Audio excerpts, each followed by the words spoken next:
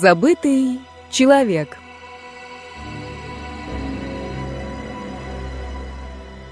Было это недавно, где-то в середине нулевых.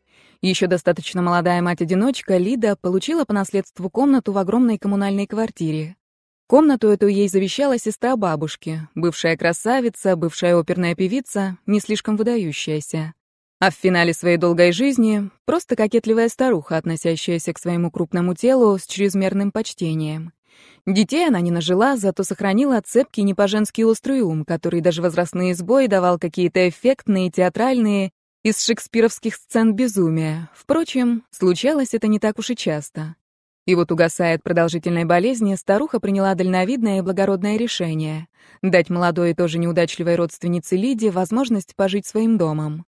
Лида жила на тот момент в родительской квартире вместе с дочкой, бабушкой, мамой, папой и младшим братом, который, в свою очередь, жил там с супругой, причем жил бурно и скандально. Квартира была небольшая, из звонких бетонных плит с низкими потолками и, конечно, с видом на лесопарк. Все семейство сосуществовало в ней с трудом и с отвращением. Особого накала взаимная неприязнь достигала по утрам. В ссорах самым хлестким словесным ударом было «Да когда ж ты съедешь? Но съезжать было некуда и не на что. Лида принадлежала к тем скромным и пугливо-неприступным женщинам, которые в ранней молодости каким-то загадочным образом между учебой на пятерке и помощью маме по хозяйству умудряются забеременеть от какого-нибудь сомнительного типа. Причем в этом случае тип был настолько сомнительный, что его посадили вскоре после рождения Лидиной дочки. Не за это, конечно, посадили, а за разбойное нападение. В общем, появление на свет тихой и слегка лопоухой Ксении было окружено мистикой и тайной. Ксении уже исполнилось 11 лет, она хорошо училась и больше всего на свете любила толстые тетрадки, постоянно в них что-то записывала или рисовала, и даже компьютер ее не прельщал. Жизнь в туго набитой квартирке на окраине обычно плохо сказывается на таких задумчивых и небойких детях. Так что сестра Лидиной бабушки придумала мудро и хорошо. Правда, регулярно сообщая об этом решении по телефону самой Лидиной бабушке, она иногда заговаривалась и сокрушалась о чем-то непонятном. «Шумит по ночам, и днем шумит. Спать плохо стало. Ты девочкам скажи, пусть не слушают». Что шумит, она так и не объяснила. А позже тема бреда у нее сменилась. В последние несколько недель перед смертью в нем фигурировали какие-то мотки пряжи, которые она постоянно искала, и мужчины, приходившие в гости через стену. Лида, надо сказать, и не знала, что коммунальные квартиры еще существуют. Тем более в центре города, где за каждый квадратный сантиметр с визгом дерутся серьезные люди. Но дом номер три стоял себе в незаметном переулке, шестиэтажный, очень старый, с выступающими ребрышками щербатых кирпичей, сливочно-желтый, неровно отрезанный кусочек прошлого. В доме было две коммуналки и несколько отдельных персональных квартир с высокими, протекающими даже сквозь евроремонт потолками. Жили здесь одинокие старушки, несколько невыносимо учтивых коренных семейств и какие-то неизвестные художники, музыканты, словом, богема, ценители старины, оригинальности и вообще атмосферы. Их было немного, этих жильцов. Они волновались о дальнейшей судьбе дома и все пытались записать его то ли в архитектурные, то ли в исторические памятники. А пока он стоял, прекрасный и бесполезный в своей древности. Прошло довольно много времени, прежде чем удалось оформить все документы. Родители за освобождающую их территорию Лиду радовались, брат завидовал и считал, что его обошли. Сама же Лида сначала побаивалась будущих соседей по коммуналке. В историях о такой вынужденной совместной жизни, которую она слышала или где-то читала, часто присутствовали плевки в борщ, стекла в тапках и ночные попытки выломать кому-нибудь дверь. Но соседи, точнее соседки, оказались безобидными ветхими существами.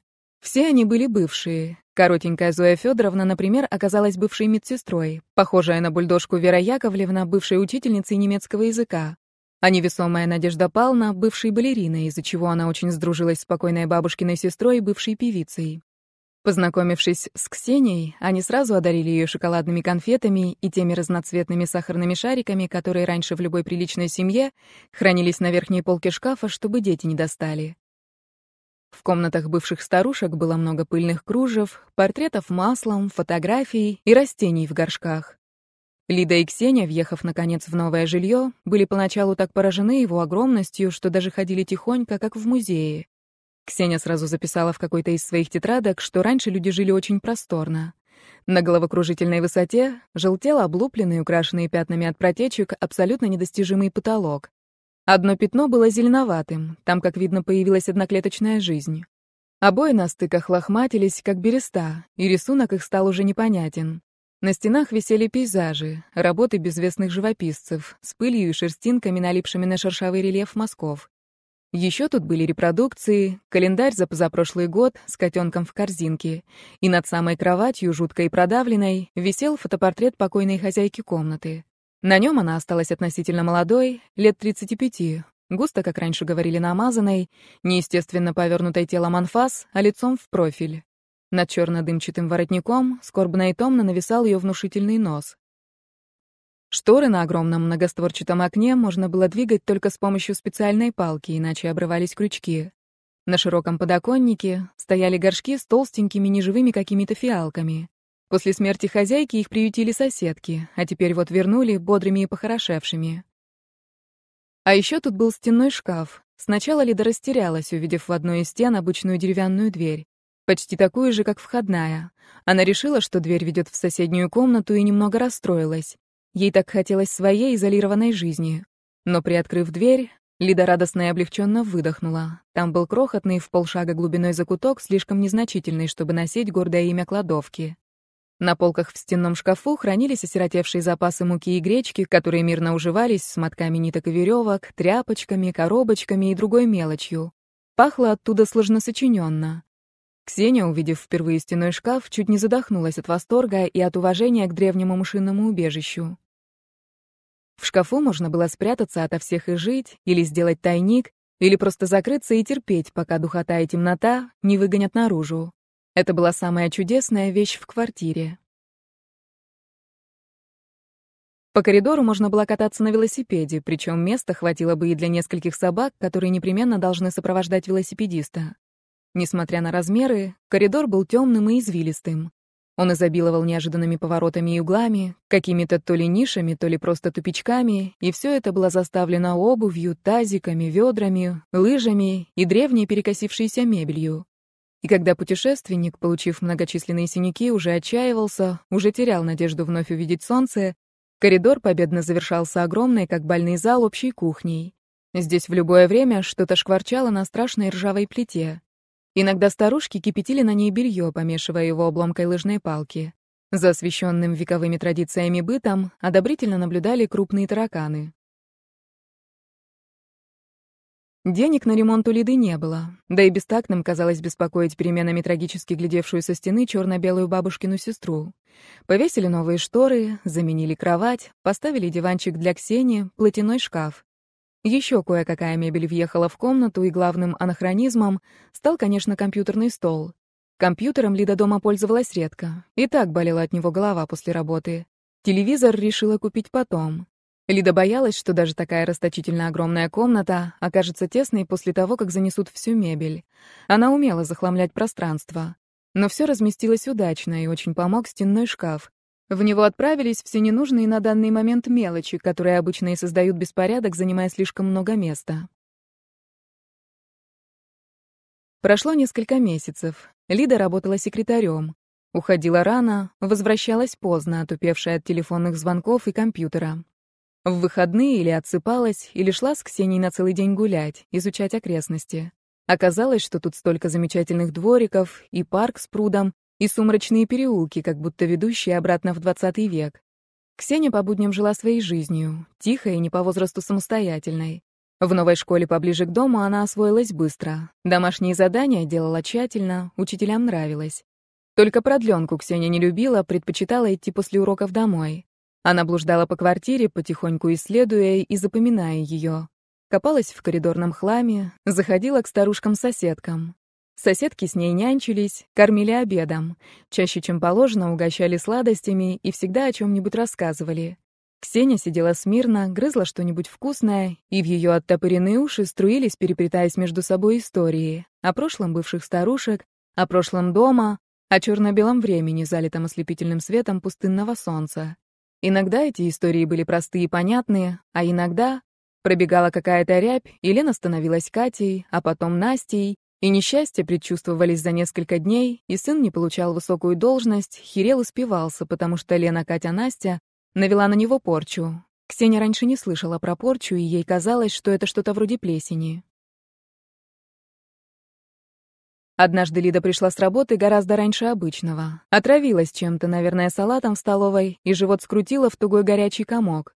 Ксения уже вернулась из школы и теперь, устроившись на широком подоконнике, рисовала что-то в своей тетрадке.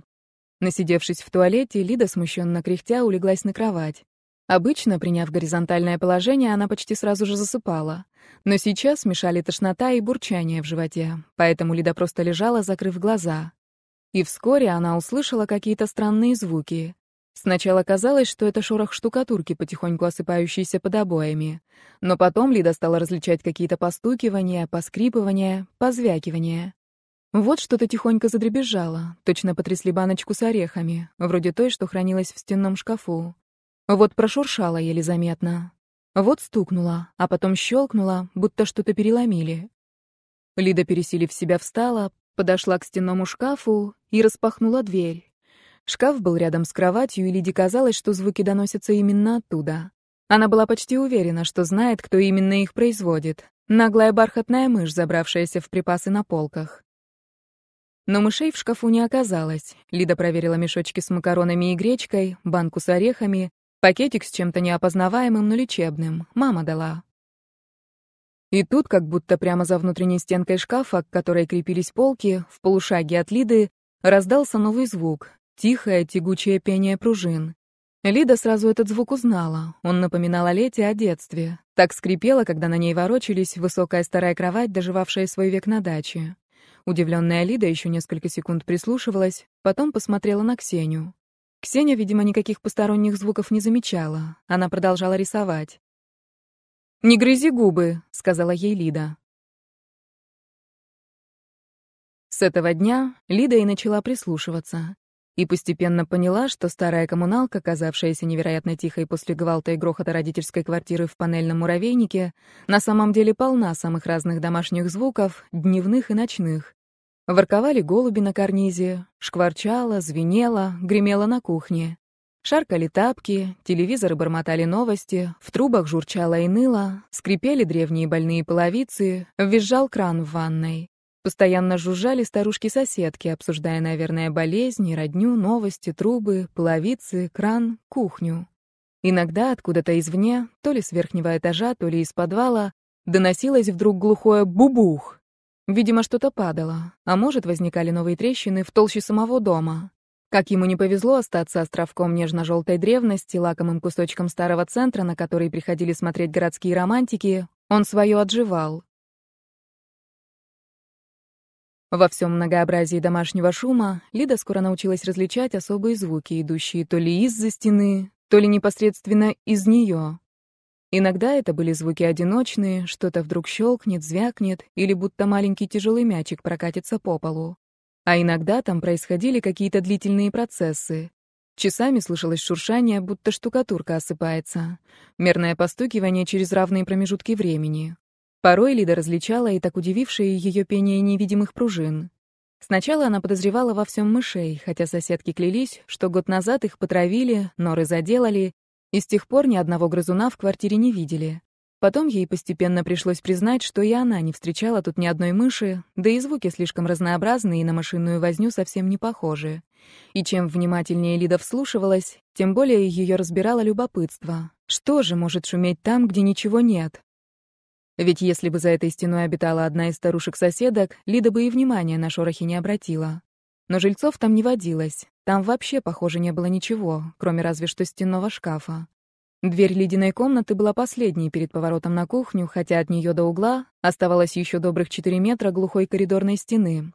Лида прикинула примерно, где проходит граница ее комнаты, и опять удивилась. Выходило, что либо та самая стена, из которой доносятся звуки трехметровой толщины, либо там все-таки есть или было когда-то маленькое помещение размером с чулан. Но Зоя Федоровна, жившая тут дольше всех, сказала, что никакого чулана не помнит. А трехметровая стена — это вполне может быть. Раньше строили на совесть. Однажды ночью что-то разбудило Лиду. Может, свет автомобильных фар или уличный шум. Ворочаясь в постели и уже снова задремывая, она услышала, как за стеной опять что-то шуршит и постукивает. Недавно у Лиды появилась новая версия, что там, наверное, находится какое-нибудь техническое помещение, шахта или что-то вроде этого. Версия выглядела очень правдоподобной. Мало ли, какой шум издает оборудование, которое поддерживает в доме жизнь. Неожиданно Лида заметила, что звуки изменились. Теперь над духом у нее раздавалось негромкое мерное «туп-туп», «туп-туп». Точно где-то очень далеко выбивали ковер. Любопытство мешало уснуть. Поколебавшись немного, Лида сбросила одеяло, села в постели, приникла к холодным обоям ухам и затаила дыхание. Так было слышно гораздо отчетливей, звуки точно ей не чудились. Туп-туп, туп-туп. Лида наконец поняла, на что это похоже. Шаги. Будто кто-то бродит по комнате из угла в угол. Если бы это было днем, у Лиды появилось бы множество успокаивающих предположений. Например, что рабочие из ЖЭКа поднялись в таинственное помещение из подвала что-нибудь починить, подкрутить. Или что она слышит эхо шагов одной из соседок, бредущей по коридору. Но часы показывали 2.45, дом давно спал. Лида снова прижалась к стене ухом. Туп, туп, туп. Звук как будто удалялся. Потом наступила краткая пауза. Проныли пружины, что-то скрипнуло, звякнуло и стихло. С этой ночи Лида стала побаиваться звуков из-за стены. Каждый раз, вслушиваясь в них уже по противной привычке, она надеялась, что загадочный шум вдруг возьмет и исчезнет, растворится в окружающих звуках, окажется миражом. Ведь сколько вокруг рассказывали истории о том, как нервная старушка обвиняла соседку сверху в регулярном забивании гвоздей по утрам, а оказывалось, что это подросток из соседнего подъезда, да еще и с первого этажа, слушает на рассвете любимую музыку. Вот и стуки-шорохи, смутно беспокоившие Лиду, могли ведь доноситься совсем не оттуда, и производить их могло что угодно. И каждый раз, когда Лида уже была готова выдохнуть с облегчением, когда в квартире слышались только шарканье по коридору, звон на кухне и журчание в ванной, какой-нибудь быстрый шорох обязательно проносился то ли за стеной, то ли в стене, совсем близко, как будто под самыми обоями. К счастью, у Лиды была скучная и утомительная в своей монотонности работа, и хозяйством надо было заниматься, да и Ксения что-то нахватала в школе злых скрюченных троек. В общем, некогда было слишком уж забивать себе голову глупостями. Наступила зима, и в первые декабрьские выходные завьюжило так, что Лида с Ксенией не пошли, как всегда, гулять по окрестным переулкам и дворикам. Снег летел горизонтально, будто выпущенный из снежной пушки. На улице мокрые и замерзшие люди натыкались на стены домов и друг на друга, ругались и чаще обычного заходили в магазины, надеясь там переждать метель. Лида с Ксенией делали уроки, читали, потом пили чай, потом Ксения старательно рисовала акварелью вид из окна, бело-желтое марево, а в нем апельсиновый шар фонаря. Потом хлопнула входная дверь, и тоненький умильный голосок запел в прихожей. «А где это наша Ксюшечка? А кому это я гостинчик принесла?» Бывшая медсестра Зоя Федоровна, сохранившая особое медицинское умение говорить сладко, по лисье ласково, вернулась из магазина. «Иди, иди», — разрешила Лида. Ксения вылетела в коридор, и вскоре из прихожей послышалось ее довольное попискивание. Лида села на диван, бережно держа в руке еще влажный Ксенин рисунок. все таки хорошо, что у них нет телевизора. Ксении полезно. Фантазия развивается, творческие наклонности. Не по-хорошему уже чуткий слух уловил шуршание за стеной, и Лида придвинулась к ней поближе. Сверху на нее с брезгливым удивлением смотрела бабушкина сестра. В комнату вбежала Ксения, прижимая к груди прозрачный пакетик с конфетами Мишка Косолапый.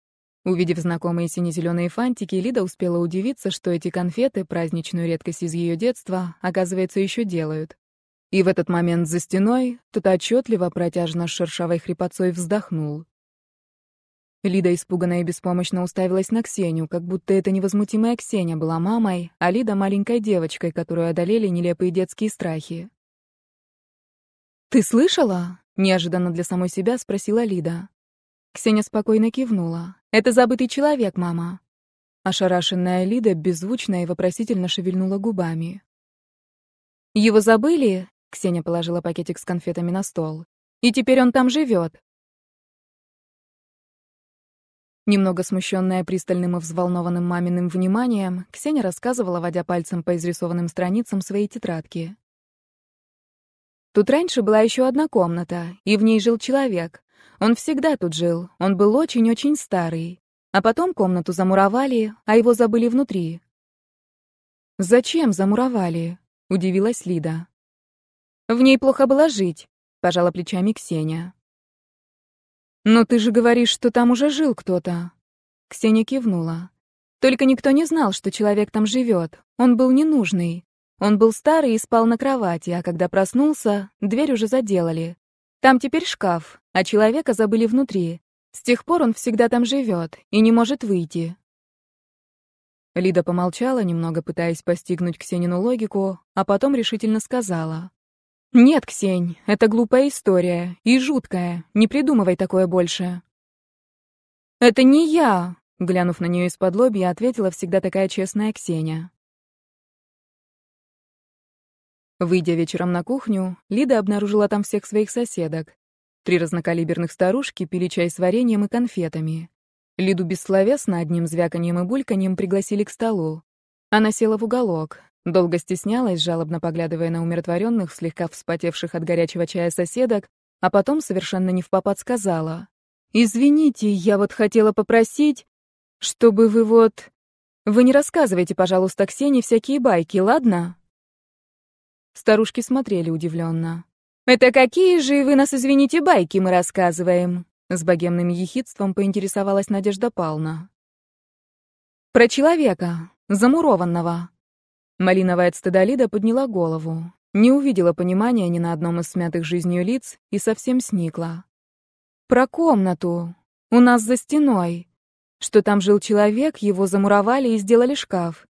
И он там до сих пор шумит». «И действительно шумит?» — оживилась Зоя Федоровна. Лида кивнула.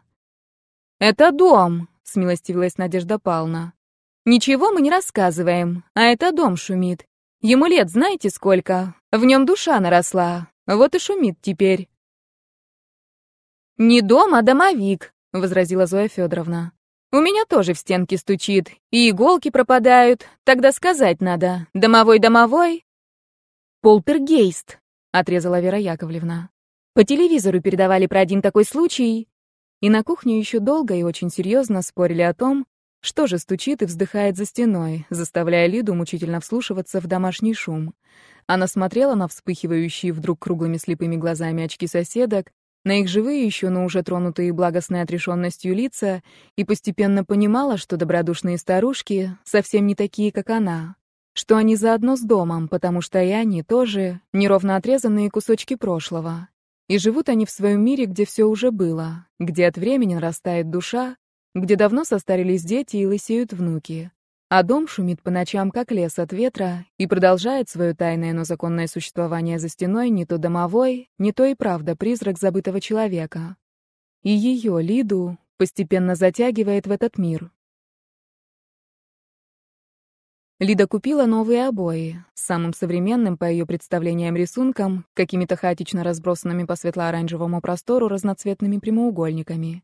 Сняла со стены томную бабушкину сестру, раздарила соседкам допотопные по-стариковски напыжившиеся фиалки.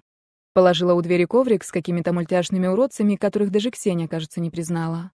А потом, как появятся деньги, надо будет купить и телевизор, плоский, и ламинат постелить, и повесить на окна жалюзи. Все только новое, только светлое, холодное, гладкое. Рулоны новых обоев дважды с грохотом падали посреди ночи. Вставали дыбом половицы, сбивая коврик, в течение трех дней три лампочки последовательно взорвались в люстре, упала книжная полка, остановились часы, и даже компьютер стал выключаться сам по себе. Все это было по отдельности так мелко, так легко объяснимо. Думать о том, что комната, кажется, бунтует против нее, Лида себе запретила. Она втайне от Ксении просмотрела ее тетрадки, боясь, что найдет там Портрет этого жуткого в своей нелепости забытого человека или историю о нем. Но в тетрадках все было нормально. Домики, цветочки, принцессы, кособокие зверьки и обрывки каких-то важных Ксениных впечатлений, записанные довольно плохим почерком. Разве что домиков было, пожалуй, многовато. За стеной теперь стучало и шуршало громче, настырней и как будто злее. Лида купила беруши, но и с ними по ночам все таки слышала то, что Надежда Павловна назвала шумом дома. Лида засовывала беруши поглубже, и теперь уже под шум крови в ушах, целенаправленно, злорадно даже мечтала о новой пластмассовой электронной комнате, хромированной люстре, легкой и лаконичной мебели и о гладком ламинате, и о большой телевизионной панели на проклятой стене, которая заглушит все раз и навсегда, и о том, как она забьет досками, замажет цементом, заклеит беззаботно оранжевыми обоями дверь стенного шкафа. А еще через несколько дней Лида простудилась так сильно, что пришлось вызывать врача, прописавшего постельный режим, обильное теплое питье и какие-то таблетки. Болело горло, кружилась голова, и Лиде казалось, что и сама она, и все вокруг немного распухло от жара. Лида лежала в постели и все думала в полудреме о том, что надо бы отодвинуть кровать от стены, чтобы ничего не слышать. Ей постоянно чудилось, что она встает, Берется за край кровати, тащит ее на себя, и кровать такая легкая, только ножки почему-то сильно царапают паркет. Потом Лида просыпалась, кровать была на месте, а у изголовья на табуретке остывал принесенный Ксении чай с лимоном. К вечеру опять громко и сердито завозилось что-то в стене или за стеной, в неведомой замурованной комнате. И Лида, масляным пятном, расплывшаяся по поверхности жаркой дремы, вдруг отчетливо эту комнату увидела. Темно-серые стены в многолетних слоях пыли и паутины. Нельзя было понять, прикасались ли к ним когда-нибудь человеческие руки. А если прикасались, это было невероятно давно, много слоев назад. Даже пауки, поколение безобидных домашних пауков, сплетавших эту паутину, давно передохли. Застывшие пыльные кружева на стенах казались каменными. Все здесь было неподвижным и успокоившимся. Комната не боялась Лиды, она пережила всех, кто селился рядом, все их драмы и радости серые, как пыль. Пережила плач и грохот войны, первый полет хрупкого теплого человечка в космос, первые взрывы в метро. Ее, наверное, и не замуровывал никто. В ней никогда не было ни окон, ни дверей. Она была слепым внутренним органом дома. Ее не строили и не проектировали. Она выросла здесь сама, потому что дом, когда-то новый и удобный, образцовое человеческое вместилище, давно ожил от старости и пустил глубоко в землю корни. Корни переплетались в коллекторах, трубах и тоннелях метро, тянули наверх непристойные соки старого центра, и, питаясь этими соками в недрах дома, кубическим плодом завязалась комната. А может, права была Ксения, потому что в комнате, как она и говорила, стояла кровать. Пунктир кровати, тонкий железный каркас с пружинной сеткой. Лида долго всматривалась в нее, и постепенно кровать обрела весомость и прочность, а на сетке заворочилось что-то большое, серое, похожее на саму комнату, слепое и непонятное. И чем внимательнее Лида в него вглядывалась, чем подробнее представляла себе, какой он забытый человек, тем шумнее он ворочался. «Нельзя кормить его своим воображением», — подумала Лида. Страдальчески жмурясь, она снова начала строить мысленно свою новую комнату, прямо поверх этой, серой и слепой. Там не будет никакого стенного шкафа, даже намека не останется. А на стену можно положить слой какого-нибудь звукоизоляционного материала. Сейчас таких много делают. Так, отгородившись, можно будет относительно спокойно дожить до того дня, когда коммуналку расселят перед сносом дома, а им с Ксенией дадут хорошенькую, ровную, маленькую, как спичечный коробок, однушку в нормальном панельном доме, где-нибудь на окраине. Соседки говорили, что когда-нибудь это точно произойдет, ведь уже почти все коммуналки в городе расселили. И вдруг новая Лидина комната задрожала, затуманилась, и вместо нее проступили очертания другой, замурованной, которой не должно было быть. И снова Лида, помимо своей воли, представила себе расплывчатого огромного забытого человека. Точнее, его силуэт из дымчато-серого тумана, слишком высокий, со слишком длинными руками и шеей, с круглой и большой, как арбуз, головой. Лида видела, как он встает с кровати, ноет пружины. Медленно, туп, туп, туп, идет к стене, за которой под горячим одеялом лежит она сама, и начинает бить по стене бесформенными кулаками, кидаться на нее всем своим колеблющимся телом. Летят во все стороны обрывки тончайшего паутинного кружева, и стена как будто понемногу поддается. И в ледяную комнату уже просачивается запах древней пыли. «Мам, чай!» — раздалось над ухом, и Лида проснулась. Над ней склонилась Ксения с чашкой в руке. Темная сладкая жидкость капнула на подушку. Лида взяла чай и облегченно вздохнула но спустя секунду, по привычке прислушавшись, уловила необычно громкий шум за стеной. Стуки, шорохи, скрипы и даже как будто какое-то глухое рычание, которое, впрочем, вполне могло оказаться шумом далекого перфоратора. «Он сегодня громкий», — кивнула Ксения. «Ему не нравится, что ты весь день дома». И снова Лида дремала, и ей чудился серый длиннорукий силуэт в слепой комнате, где нет ни окон, ни дверей. Может, и правда жил здесь когда-то человек, который никому не был нужен. И его, слабого, старого, спящего, замуровали прямо в его собственной коморке.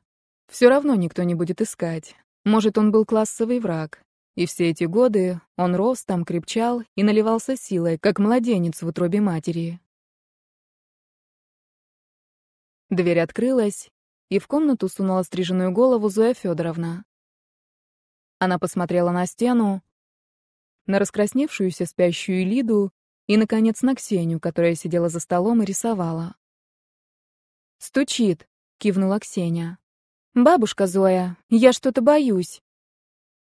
«А ну, пойдем», — сказала растроганная Зоя Федоровна, у которой никогда не было внуков. Вскоре Ксения вернулась с кружкой молока, поверх которой лежал большой кусок батона ароматный. Лида все еще спала. Ксения открыла стенной шкаф, поставила кружку на одну из полок, поправила ломтик хлеба и старательно неторопливо поклонилась. «Домовой, домовой, прими угощение!» И уже закрывая дверь, тихонько добавила. «Ну, то есть не домовой, так положено просто». Лида открыла глаза и, будто продолжая прерванный разговор, зашептала. «Вот и переедем. Будем жить в нормальном доме. Вот поправлюсь и уедем. И чтобы не шумело, а то все шумит, шумит». Лида всхлипнула. «Уже нет», — возразила Ксения. Лида прислушалась. За стеной действительно царила хрустальная тишина. Видимо, она и разбудила Лиду, уже привыкшую к стукам и шуршанию. «И я не хочу уезжать», — Ксения приложила к двери стенного шкафа раскрытую ладошку. «Хочу здесь жить, с ним. Он живой». И изнутри в дверь шкафа громко постучали, трижды с равным интервалом, полновесно и уверенно. «Он живой», — повторила Лида и закрыла глаза. «И он нас никуда не отпустит», — спокойно добавил из жаркой темноты Ксенин голос.